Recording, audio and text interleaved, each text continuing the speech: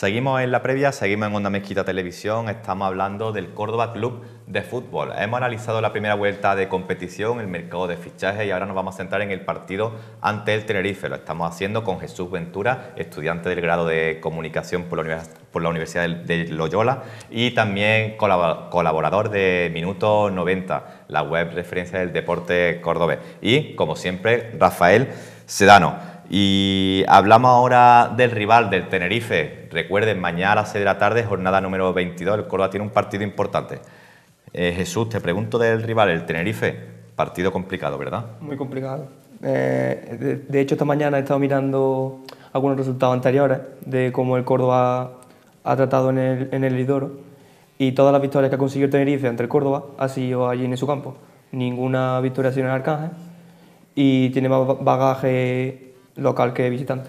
Y también, sobre todo, eh, mal, se le da mal al el Córdoba al Tenerife, pero también mm, fuera de casa el Córdoba, como lo estás viendo esta temporada. Parece que los partidos de, fuera de casa nos agarramos algo más a que el Córdoba haga algo más que en casa, ¿verdad? Sí, la, la verdad que la situación de tabla ahora mismo que tiene el Córdoba, en parte es, es por la situación fuera de casa, porque si llegase por dentro estábamos más abajo todavía. Y, te, y también el Tenerife un partido perdido de los últimos 10. De los últimos 10 partidos solo ha perdido uno. También te dice de su fortaleza, ¿verdad? Sí, porque lleva ya un año sin, sin ningún equipo le pueda hacer ningún peligro. Y de hecho, eh, la, última visita que tuvo el Córdoba allí fue 1-1 con Gotandones, si no recuerdo mal. Así que un campo muy peligroso. Pues eh, ahora Rafael lo va a analizar tácticamente con la pizarra del profesor Sedano.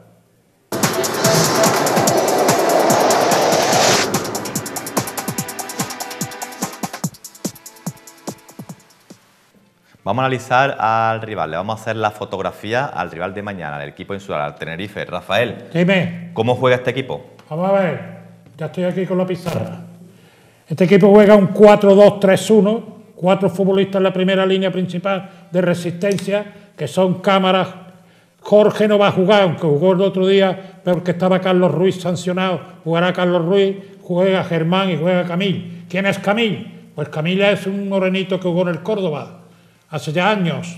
Lateral izquierdo jugaba también de, de, interior, que yo dije que iba a ser lateral izquierdo, y hubo aquí una tranque con un presentador de cuyo nombre no quiero acordarme, y realmente al final llevo yo razón de que jugaba de lateral. Entonces eh, juega con cámara Carlos Ruiz, eh, Germán Camil y, y el futbolista Dani Hernández de portero dos medios volantes, uno que hace de hombre ancla, que es Alberto, que es el futbolista que juega aquí por delante de la línea principal de resistencia, que juega ofreciéndose siempre al poseedor de balón, sobre todo a los centrales. ¿Para qué? Para que le dé, para empezar la iniciación de la, de la transición defensa-ataque, y luego por delante de él juega un futbolista que se llama Vitolo Vitolo es futbolista constructivo, el futbolista brújula, el futbolista que la pone a un lado, que la pone al otro mediante cambios de orientación. Y arriba juega con tres futbolistas muy peligrosos y de mucha calidad, que son realmente los que te pueden destruir si no lo sabes defender, como luego diré. Entonces juega con Suso, un futbolista vertical, desbordante y con un problema que es algo individual, o yo diría bastante individual, y eso le perjudica, pero con, con eso es vertical, tiene desparpajo, tiene descaro, tiene aventura, tiene diagonales aquí, crea el espacio para que cámara entre en ataque aquí con una gran vocación ofensiva que tiene. Luego tiene también ese desorden posicional ofensivo que yo echo de menos en el Córdoba y que ellos lo tienen. Tiene Aarón, Aarón es el hermano de Saúl, el futbolista que juega en el Atlético Madrid, y entonces resulta que que, lo mismo está aquí, que, que, está eh, el chico está aquí, que está el otro chico morenito Amás, que se llama Amás, está aquí, Aarón aquí, Suso aquí, Amás aquí. Es decir, que están en continuo en continuos movimientos, son muy, muy dinámicos y en continuo desorden posicional o permutas ofensivas, como se le pueden llamar. Y arriba un futbolista también de la cantera muy joven, con 18 años, Cristo. Este es el equipo y este es Este es el 11. ¿Cómo se mueve? ¿Cómo se mueve el equipo? Pues Aunque ya he dicho el desorden arriba, pero como bloque, ¿cómo juega? Como bloque juega con este futbolista entrando aquí para enlazar, con este futbolista por delante de para que se la dé y organice toda la parte de arriba, que es Vitolo, con muchas entradas en ataque de, de cámara, que es un futbolista veterano, pero que tiene una gran vocación ofensiva y se, se ocupa y se presenta aprovechando las diagonales que deja este futbolista con su movimiento en diagonal. Este futbolista Camil también tiene mucha vocación ofensiva, movimiento diagonal de Amas. Amas tenés cuidado con él porque es un futbolista rápido, vertical y de mucha calidad. Aarón este es el hombre libre, es el hombre libre, es el hombre que se mueve con libertad de movimiento, que se mueve por todo el campo. Y Cristo que va a las bandas, que, que deja espacios y pasillos centrales para que entren los hombres de la segunda línea en zona de finalización y te puedan Está hacer- ganando muchos partidos a balón parado. Está ganando partido a balón parado porque está el Alberto este que lo saca muy bien, Vitolo que lo saca muy bien. y Ahí estamos viendo detrás del profesor eh, el gol que le dio el triunfo ante el Zaragoza. Y hablando de cómo juega el rival, mm, vamos a escuchar a Carrión y después lo valoramos.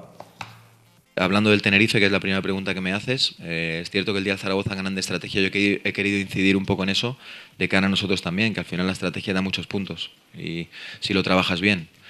Y ellos ganaron el otro día tres puntos por la estrategia, por el gol. Luego estuvieron muy bien, eh, hicieron un partido más que correcto, tuvieron ocasiones, llegadas. eh, El larguero de Aroñigue, bueno, eh, tuvieron muchas situaciones de gol y hicieron muy bien. Es un buen equipo, eh, un equipo que trata de, de tener el balón, que luego si no tiene el balón salen rápido y tienen gente para ello y nosotros hemos trabajado como contrarrestarlo. Pues da mucha importancia a la estrategia, Jesús.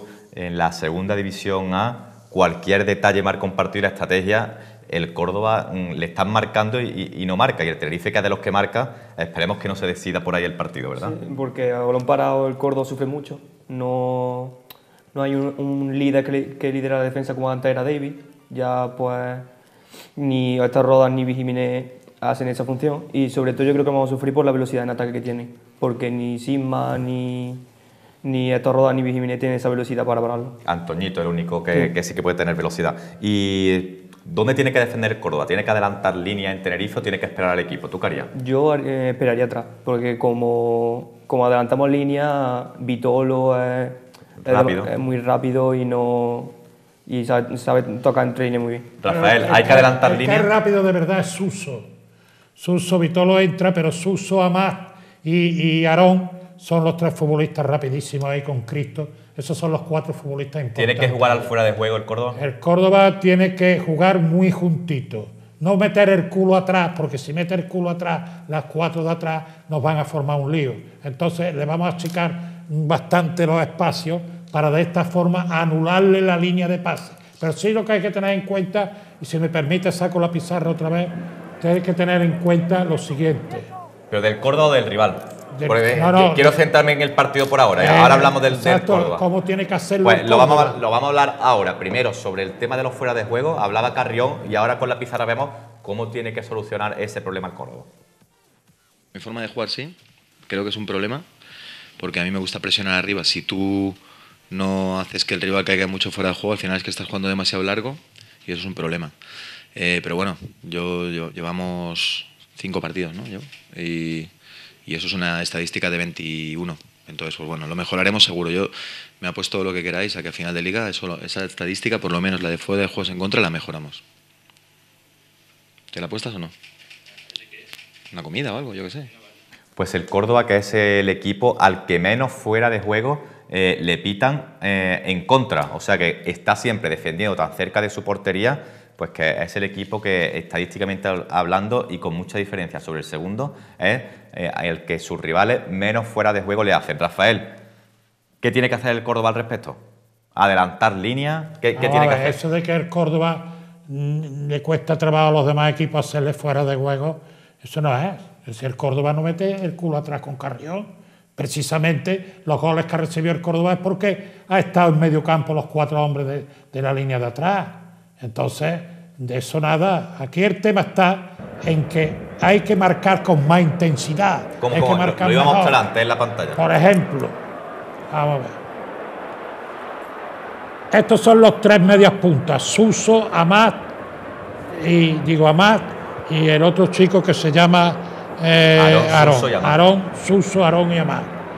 Estos tres futbolistas tienen, se mueven constantemente, tienen mucho desorden posicional. ¿Y no hay que tirar fuera de otro aquí. juego? Entonces, espera un momento. Entonces, aquí hay que marcar a la zona, porque si tú lo sigues, estás creando muchos muchos espacios, ¿no lo ves? Creas muchos espacios. Ahora, si tú, este viene aquí, lo marca este, este viene aquí, lo marca este, este viene aquí, lo marca este, va más al centro, lo marca este, sin salir de la zona. Y luego no meter culo aquí. Si tú marcas aquí atrás, si tú te metes aquí atrás, te vas a echar en lo harto todo el equipo este. Te echas todo lo harto, en lo harto el equipo este, te lo metes aquí, el equipo. Entonces vamos a salir de atrás, vamos a no, a no meternos aquí, vamos a salir con la línea principal de resistencia aquí. ¿Para qué? Para que de esta forma ellos tengan que retrasar, de esta forma ellos no puedan ver bien claro la línea de pase del equipo contrario. Así es como tiene que jugar el Todo Córdoba. el Córdoba te- lo veo que tiene que, que salir, que salir y achicar los espacios hacia adelante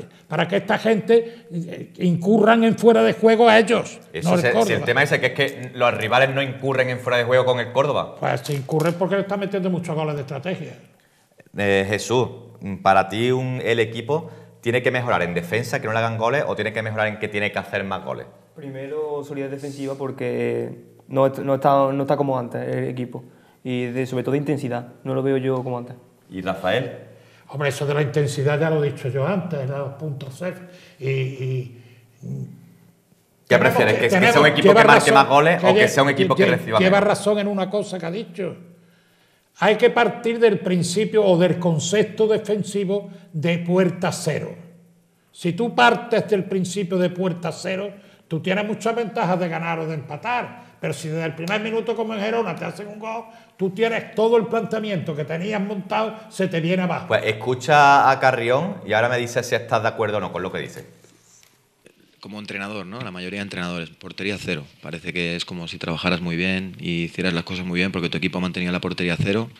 Todo en el fútbol es calidad y trabajo, ¿vale? Y calidad defensiva y ofensiva.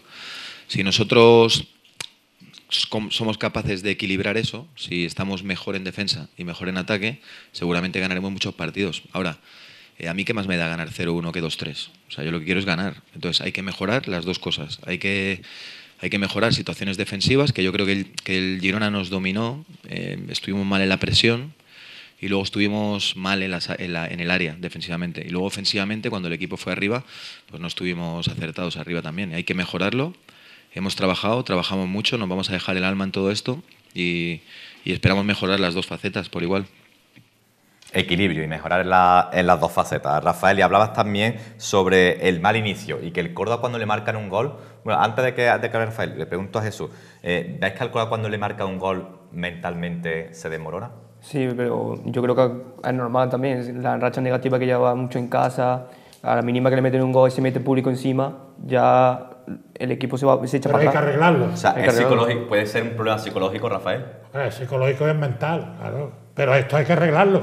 Y el arreglo lo tiene que arreglar él. ¿Cómo se trabaja que, que no te marque un gol al Pues- inicio? pues ¿Cómo se se, traba- trabaja que, que sepa remontar un Pues se partido? trabaja pensando en que, en que el gol no pasa nada, que quedan muchos minutos por delante, que tenemos que seguir la misma línea. Lo que no podemos, por ejemplo, es que te haga un gol el Cádiz y ya nos volvamos locos todos, nos vayamos todos para adelante, hagamos la guerra por nuestra cuenta, perdamos la idea de colectividad y entonces nos viene el segundo. Si nos meten un gol, vamos a tranquilizarnos, ya empataremos nosotros. Ahí Quedan muchos minutos por delante. Lo que no puede ser lo que dice que prefiere ganar 3-4 o 4-3. Si a un equipo carrión le meten tres goles, no puede ganar nunca. Un equipo que le metan tres goles no es un equipo equilibrado. ¿Qué le pasa al Madrid? Que el Madrid todos los equipos que van a- allí le hacen gol. ¿Por qué? Porque no es un equipo equilibrado, porque es un equipo que se van todos para adelante, porque no revela a nadie en la- releva a nadie en la zona, porque no hacen desdoblamientos, porque, porque no, no hay equilibrio en línea, y entonces pues le hacen gol.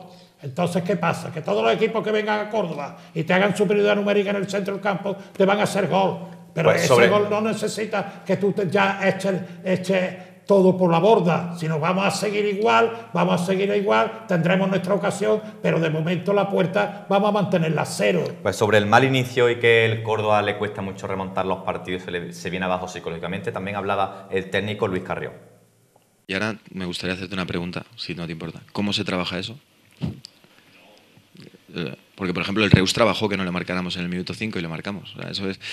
Eh, se trabaja, se habla, se dice, pero son situaciones que suceden en un partido, en la que intentas que no pasen. Te aseguro que todos los jugadores antes del partido de Girona estaban, calentaron de maravilla, porque me lo dijeron, yo no salgo nunca, pero me lo dijeron los técnicos, y me dijeron, hostia, cómo han calentado, han calentado de lujo. Y ahora, es antes del partido, cuando entra la cámara esa a grabar que entra, todos estaban, venga, hay que salir bien, que este es un partido, un campo complicado, hay que salir bien. Sales y te encuentras el gol. Y claro, no es la decisión, o sea, no es lo que más te gusta que pase en el campo, pero intentamos decir, oye, que hay que salir bien, pero ellos lo intentan. Yo, yo lo que veo de este equipo y que veo que no se, que no se, se ve demasiado es que habrá mejor o, peor día, pero normalmente siempre se deja en la vida. Siempre. Por lo menos desde que yo he aquí, yo he visto un equipo que a lo mejor tiene sus problemas cuando recibe algún elemento negativo en el partido, pero correr, corren. Se encuentran, nos encontramos ese gol intentaremos que no vuelva a pasar. Y más, intentaremos que les pase al equipo rival, que es lo que queremos, ponernos por delante nosotros. Pero son situaciones que nadie quiere que le pasen y son. si yo si quieres te engaño, te digo, sí, hemos trabajado. Eso no se puede trabajar, eso hay que estar centrado. Hay que intentar estar los 90 minutos concentrado al 100%, desde el minuto 1 hasta el 95. Pues esperemos que el Córdoba, si ante una adversidad, pues se sepa reponer. Vamos a dar paso a la publicidad, posteriormente seguimos hablando de la actualidad del Córdoba.